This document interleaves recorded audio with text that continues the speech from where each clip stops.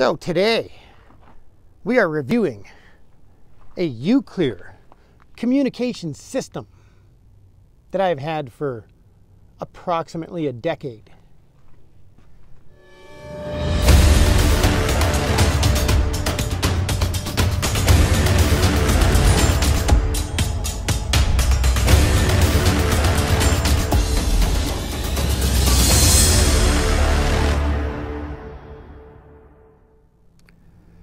So I figured we might as well do the communication system since we uh, reviewed the helmets last time with the communication system. So I bought this around 2011 is my guess. I'm not exactly sure.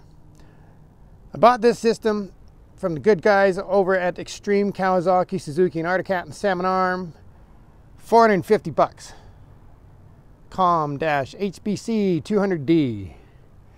And I had been using HJC chatterboxes for years and years, and they were a really great, big, bulky piece about that wide with a big antenna. And you had to, when you when you would actually shoulder check and turn left, when I was wearing racing leathers, it would get hooked on my leathers and I couldn't turn over my left shoulder to shoulder check when I was riding. So that was a huge negative for me. I couldn't stand the size of it. They did not have the technology out yet to have them this small like they do now. I don't know if you even need those now. I'm not sure what's out, but we'll uh, I'm sure we'll go look at some soon. But this system was an amazing upgrade from the Chatterbox because the Chatterbox was only good to about 70 or 80 kilometers an hour. 80 was pushing it if it would work or not. You couldn't actually communicate because of the wind noise. It would activate your microphone. And yes, it had a little adjuster for your sensitivity on your microphone. You could adjust while you're riding it, but they just weren't up to par yet. They didn't have, have quite have all the bugs worked out.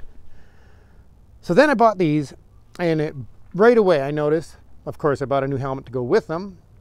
Right away, I noticed that we could be doing 110 kilometers an hour, a little over 60 miles an hour, and we could still communicate. Uh, sometimes I get a little out of control and get into the corners, and I can be a kilometer or two away from my wife. These things, uh, I'm going to say probably five times as far as an HJC chatterbox we could be apart and communicating still. And that was important to me. If I can't see my wife when we're riding, I want to at least be able to communicate with her. So Uclear, spectacular. I, am not going to get into all the options because I actually didn't use them. You can have music and phone calls, intercom, GPS, all that kind of stuff while you're riding. I refuse.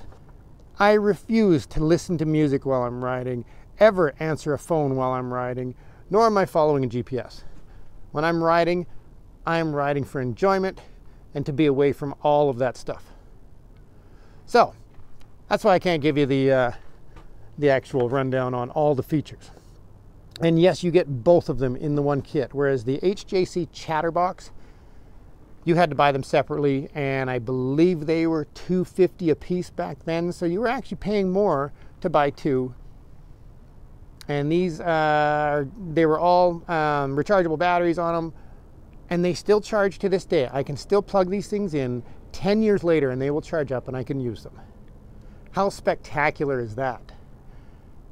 My cell phone I'm recording them with will not last as long as the batteries in this Uclear system. So thumbs up for them and the guys over at Extreme Suzuki, Kawasaki, and Arctic Cat. Thank you so much. Now let's move on.